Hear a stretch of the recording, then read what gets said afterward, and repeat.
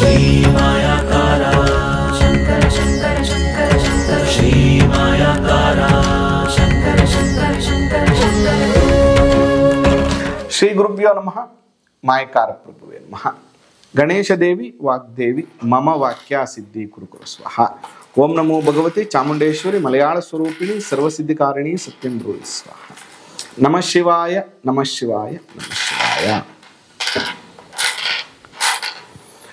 ಈ ವಾರ ಕವಡೆ ಶಾಸ್ತ್ರದ ಪ್ರಕಾರ ಹನ್ನೆರಡು ರಾಶಿಯವರ ಫಲಾಫಲಗಳನ್ನು ನೋಡೋಣ. ಜೊತೆಗೆ ಈ ವಾರದ ಹೈಲೈಟ್ಸ್ ಅನ್ನು ನೋಡೋದಾದ್ರೆ ಶ್ರೀಶಕೆ ಸಾವಿರದ ಒಂಬೈನೂರ ನಲವತ್ತಾರನೇ ಕ್ರೋಧಿನಾಮ ಸಂವತ್ಸರ, ದಕ್ಷಿಣಾಯನ ವರ್ಷ ಋತು, ಶ್ರಾವಣ ಮಾಸ ಮತ್ತು ಭಾದ್ರಪದ ಮಾಸ, ಶುಕ್ಲ ಪಕ್ಷ ಮತ್ತು ಕೃಷ್ಣ ಕೃಷ್ಣ ಪಕ್ಷ ಮತ್ತು ಶುಕ್ಲ ಪಕ್ಷ ಎರಡೂ ಕೂಡ ಇರುವಂಥದ್ದು.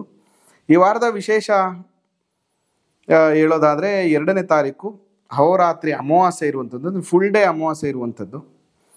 ಜೊತೆಗೆ ಹದಿಮೂರನೇ ತಾರೀಕು ಕೂಡ ಸ್ವಲ್ಪ ಏಳು ಗಂಟೆ ಇಪ್ಪತ್ತ ಐದು ನಿಮಿಷದವರೆಗೂ ಕೂಡ ಅಮಾವಾಸ್ಯೆ ಇರುವಂಥದ್ದು.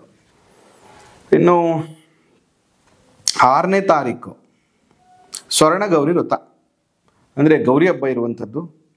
ಇನ್ನು ಏಳನೇ ತಾರೀಕು ವರಸಿದ್ಧಿ ವಾ, ವರಸಿದ್ಧಿ ವಿನಾಯಕ ಸ್ವಾಮಿ ವೃತ ಅಂದರೆ ಗಣಪತಿ ಹಬ್ಬ ಇರುವಂಥದ್ದು. ಇದು ಈ ವಾರದ ವಿಶೇಷತೆಗಳು. ಇನ್ನು ನಾವು ನೋಡಬೇಕಾಗಿರುವಂಥದ್ದು ಈ ವಾರದ ಭವಿಷ್ಯ ಹೇಗಿದೆ ಅನ್ನುವಂಥದ್ದು. ಮೇಷರಾಶಿಯವ್ರಿಗೆ ಹೇಗಿದೆ ಅಂತ ನೋಡೋಣ.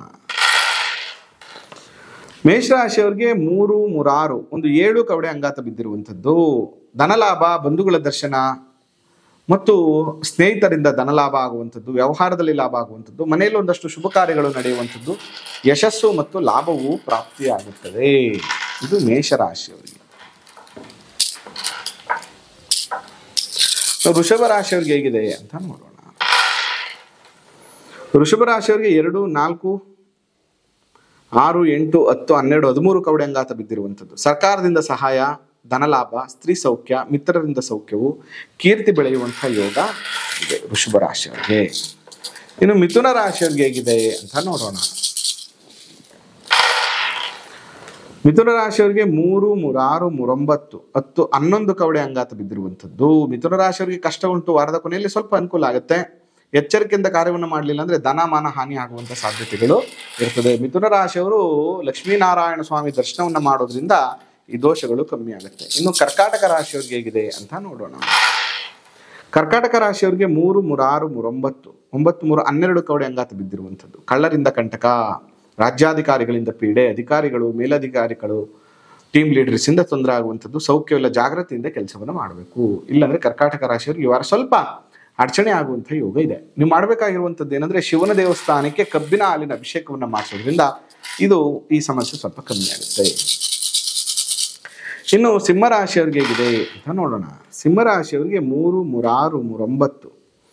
ಮೂರು, ಮೂರಾರು, ಮೂರೊಂಬತ್ತು ಕವಡೆ ಅಂಗಾತ ಬಿದ್ದಿರುವಂಥದ್ದು, ಮನೆಗೆ ಬಂಧುಗಳು ಬರುವಂಥದ್ದು, ಸಮಾಜದಲ್ಲಿ ಗೌರವ ಸನ್ಮಾನಗಳು, ಕಾರ್ಯದಲ್ಲಿ ಜಯಲಾಭ ಪ್ರಾಪ್ತಿಯಾಗುತ್ತೆ ಸಿಂಹರಾಶಿಯವ್ರಿಗೆ ಈ ವಾರ ಚೆನ್ನಾಗಿದೆ ಇನ್ನು ಕನ್ಯಾ ರಾಶಿಯವ್ರಿಗೆ ಹೇಗಿದೆ ಅಂತ ನೋಡೋಣ.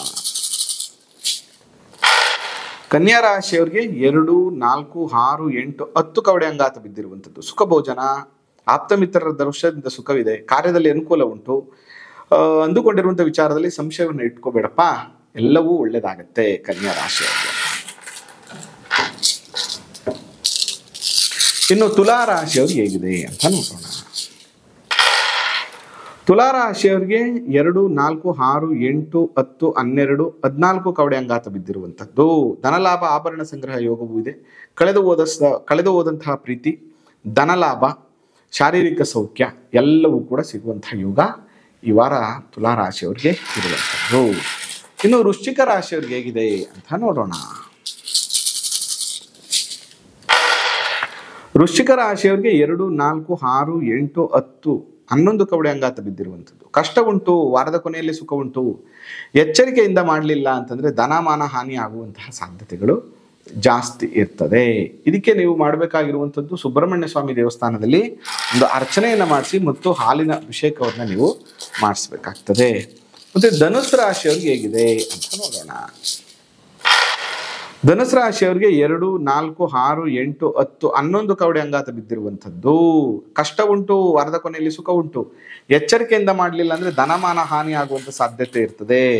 ನೀವು ಮಾಡಬೇಕಾಗಿರುವಂಥದ್ದು ನಿಮ್ಮ ಕುಲ ಗಂಡು ದೇವರಿಗೆ ವಿಶೇಷವಾಗಿ ಇದು ತುಪ್ಪದ ದೀಪವನ್ನು ಹಚ್ಚ, ಹಚ್ಚಿಟ್ಟು ಪ್ರಾರ್ಥನೆಯನ್ನು ಮಾಡ್ಕೊಳ್ಳಿ, ಸಮಯ ಸಿಕ್ಕರೆ ದರ್ಶನವನ್ನ ಮಾಡಿ. ಇನ್ನು ಮಕರ ರಾಶಿಯವ್ರಿಗೆ ಹೇಗಿದೆ ಅಂತ ನೋಡೋಣ.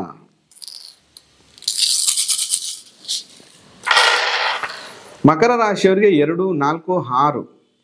ಎರಡು, ನಾಲ್ಕು ಎರಡು, ನಾಲ್ಕು, ಆರು, ಎಂಟು, ಹತ್ತು, ಹನ್ನೆರಡು, ಹದಿಮೂರು ಕವಡೆ ಅಂಗಾತ ಬಿದ್ದಿರುವಂಥದ್ದು. ಸರ್ಕಾರದಿಂದ ಸಹಾಯ ಮನ್ನಣೆ ಧನಲಾಭ ಸ್ತ್ರೀ ಸೌಖ್ಯ. ಮಿತ್ರರಿಂದ ಅನುಕೂಲವೂ ಇದೆ, ಕೀರ್ತಿ ಬೆಳೆಯುವಂತಹ ಯೋಗ ಇದೆ, ಮಕರ ರಾಶಿಯವರಿಗೆ ಸಾಡೆ ಸಾತಿ ನಡೀತಾ ಇರೋದ್ರಿಂದ ಆಂಜನೇಯ ಸ್ವಾಮಿ ದರ್ಶನ ಮತ್ತು ಶನೇಶ್ವರ ಸ್ವಾಮಿ ದರ್ಶನವನ್ನು ಮಾಡ್ಕೊಳ್ಳಿ. ಇನ್ನು ಕುಂಭರಾಶಿಯವ್ರಿಗೆ ಹೇಗಿದೆ ಅಂತ ನೋಡೋಣ. ಕುಂಭರಾಶಿಯವರಿಗೆ ಎರಡು, ನಾಲ್ಕು, ಆರು, ಎಂಟು, ಹತ್ತು, ಹನ್ನೆರಡು, ಹದಿಮೂರು ಕವಡೆ ಅಂಗಾತ ಬಿದ್ದಿರುವಂಥದ್ದು. ಸರ್ಕಾರದಿಂದ ಸಹಾಯ ಮನ್ನಣೆ, ಧನಲಾಭ ಸ್ತ್ರೀ ಸೌಖ್ಯ, ಮಿತ್ರರಿಂದ ಅನುಕೂಲ, ಕೀರ್ತಿ ಬೆಳೆಯುವಂಥ ಯೋಗ ಕುಂಭರಾಶಿಯವ್ರ ಇದೆ. ಈ ವಾರ ಕುಂಭರಾಶಿಯವರು ಕೂಡ ಚೆನ್ನಾಗಿದೆ. ಕೊನೆಯದಾಗಿ ಮೀನರಾಶಿಯವ್ರಿಗೆ ಹೇಗಿದೆ ಅಂತ ನೋಡೋಣ. ಮೀನರಾಶಿಯವ್ರಿಗೆ ಮೂರು, ಮೂರಾರು, ಮೂರೊಂಬತ್ತು, ಒಂದು ಹತ್ತು ಕವಡೆ ಅಂಗಾತ ಬಿದ್ದಿರುವಂಥದ್ದು.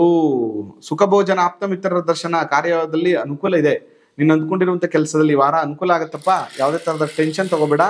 ಮತ್ತೆ ಧೈರ್ಯವಾಗಿ ಮಾಡು ಅನ್ನುವಂಥದ್ದು ಬರ್ತಾ ಇದೆ. ಈ ಶಕುನ ಕವಡೆಶಾಸ್ತ್ರ ಮತ್ತು ಗೋಚಾರದ ಫಲದ ಜೊತೆಗೆ ನಿಮ್ಮ ಜಾತಕ ದಶಾಭುಕ್ತಿಗಳನ್ನು ಕೂಡ ಒಂದ್ಸರಿ ತೋರಿಸ್ಕೊಳ್ಳಿ ಅಂತ ಹೇಳ್ತಾ ಅದ್ರ ಜೊತೆಗೆ ಇನ್ನೂ ಹೆಚ್ಚಿನ ವಿಡಿಯೋಗಳನ್ನು ನೋಡಬೇಕು ಅಂದರೆ ಸಬ್ಸ್ಕ್ರೈಬ್ ಆಗಿ ಮತ್ತು ಫಾಲೋ ಮಾಡಿ. ಆ ಮಲೆ ಮಾದೇಶ್ವರನ ಅನುಗ್ರಹ ಸದಾ ನಿಮ್ಮ ಮೇಲಿರಲಿ ನಮಸ್ಕಾರ. ಶ್ರೀ ಮಾಯಾಕಾರ